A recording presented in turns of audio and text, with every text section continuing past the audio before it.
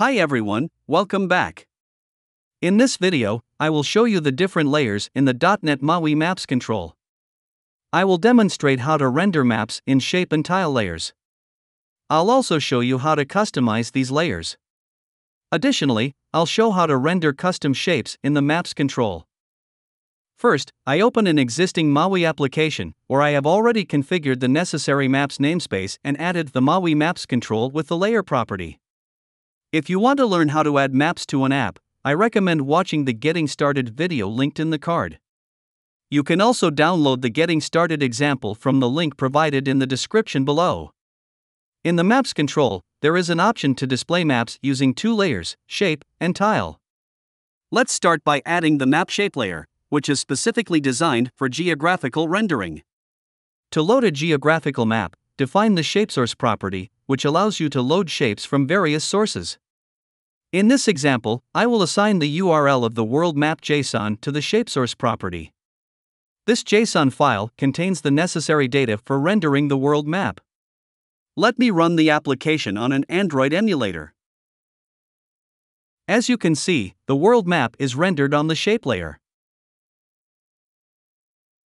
Next, let me show you how to customize the appearance of shapes on the map shape layer. To change the color, define the shape fill property and set an appropriate value. Additionally, to customize the border of the shape, I set the shape stroke property to the desired value. I can also specify the stroke width by setting the shape stroke thickness property to 2. Looking here, the shapes are now customized with a light blue fill color and blue stroke color. Now, I will demonstrate how to add data to the map control. In this example, I have already bound the model class, which contains information such as the country's value, name, population, density, and color. Additionally, I have added the country details to the view model class.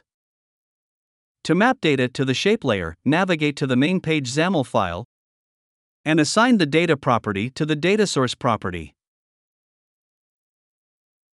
To identify the geographic location and its shape, map the field name to the respective property. To achieve this, define the primary value path property and assign the field name country to it. Furthermore, to link the name field in the GeoJSON file with each shape and map that shape to the respective data in the data source, define the shape data field with the value name. Next, let me demonstrate how to color shapes according to their data. To apply colors directly to the shapes, map the field name color to the shape color value path property. Before running the application, make sure to remove the shape stroke, shape fill, and shape stroke thickness properties.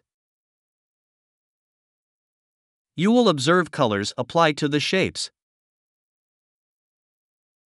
Next, to apply colors to the shapes based on specific values, you can utilize color mapping.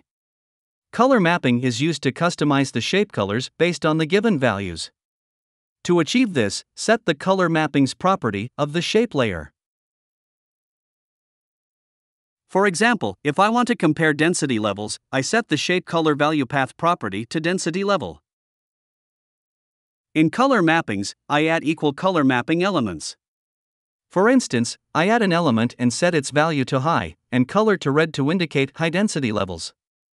Similarly, add another element with low and green to indicate that low density levels.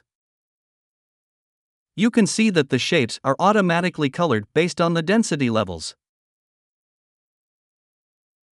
However, if you want to apply colors to the shapes based on a range of values, you can use the range color mapping instead of equal color mapping. To illustrate this, let's consider the example of comparing density counts. Assign the shape color value path property to density count. In color mappings, remove the equal color mapping elements and add range color mapping elements. For instance, you can add an element with light blue color and a range from 0 to 90, indicating that density counts within this range should be displayed in light blue. Similarly, add another element with blue and a range from 100 to 500. You can observe that the shapes are assigned colors based on the corresponding density count ranges. Let's move on to selecting shapes on a map. Before starting, I remove the code changes related to the shape appearance customization. By default, the selection of the shape is disabled. To select specific shapes, you need to set the Enable Selection property to True. Once the map is loaded, simply tap on any shape, and you will notice that the selected shape is highlighted on the map. To customize the appearance of shapes, set the desired values to the properties. Selected shape fill to red. Selected shape stroke to blue and selected shape stroke thickness to 2. Notice here, the selected shapes are now customized with a red fill color and blue stroke color. Next, I will demonstrate how to render custom shapes to transform a map into a representation of various structures such as building infrastructures, sports stadiums, plane or bus seat arrangements, and more. First, I remove all the properties in the map shape layer and set its name to layer. Next, go to the main page XAML CS file to load the custom shape file. In this case, I assign the floor planning JSON data to the shapesource property, which is already bound. Observe the floor infrastructure displayed on the map. Now, let's see how to add and customize tile layers from Web Maps tile services, such as OpenStreetMaps, Bing Maps, Google Maps, TomTom, and more. I'll start by removing the existing map shape layer and add the map tile layer. This specific layer is responsible for rendering map tiles. To load the Web Maps URL, define the URL template property. This property accepts the URL in the WMTS format. For example, you can add the OpenStreetMaps URL as the URL template. You can see that the map image is displayed on the tile layer. If you want to learn how to add Bing Maps and other map tile providers, please refer to the documentation link provided below. To change the center position of the map tile layer, define the center property and add a map latitude longitude element.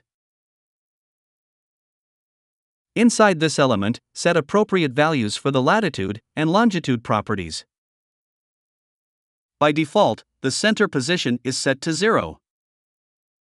As you can see, the map is repositioned to a new location. In this video, I have demonstrated the process of rendering maps using shape and tile layers. I have also showcased the customization options available for both shape and tile layers. Furthermore, I showed how to render custom shapes. If you want to see a working example, you can download one from the GitHub link provided in this video's description. I have also included a link in the description where you can check if you qualify for our community license, which gives you a free license key for our entire .NET MAUI control suite. If you found this video useful, don't forget to click the like button and subscribe to our channel to watch more videos like this. Thanks for watching.